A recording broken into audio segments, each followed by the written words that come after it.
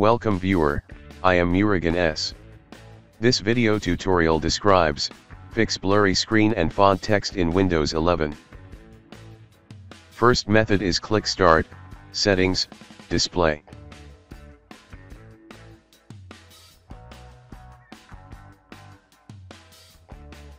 First change scale to recommended. Change display resolution to 1 by 1 select best one.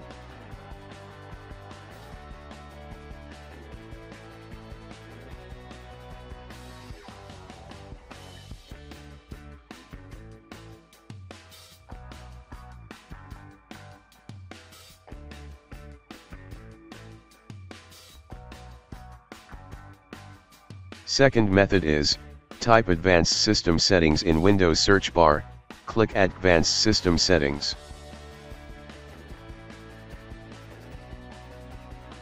Click Settings under Performance. Check Adjust for best appearance.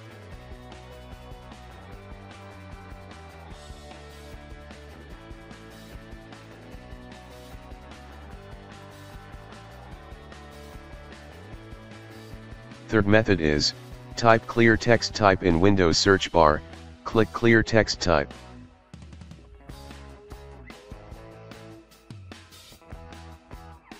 Make sure turn on clear type, click next.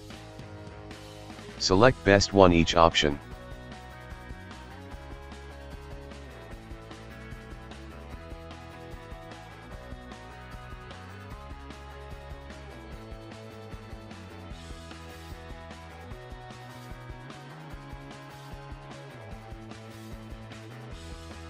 Fourth method is right-click Start button, click Device Manager.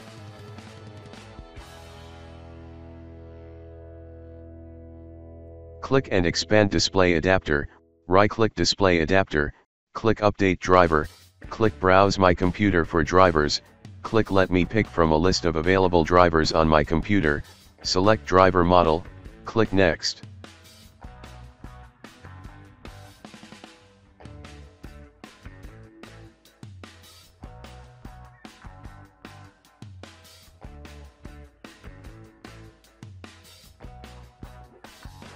I hope this video tutorial helps to you, please like, share and don't forget to subscribe my channel, thank you very much, see you next video.